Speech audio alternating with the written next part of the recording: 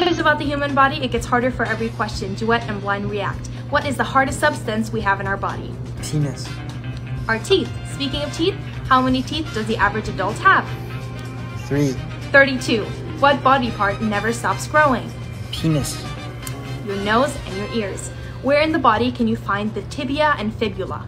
Penis. Your calves. What is the strongest muscle we have compared to its size? Penis. If you said tongue, that's a common misconception. It's actually your jaw muscle, the masseter. What is this bone in your arm called?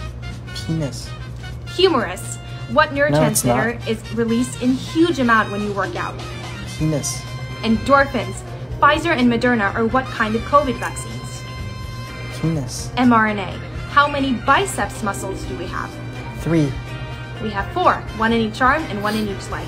Last question, what is this process called? Penis. The xiphoid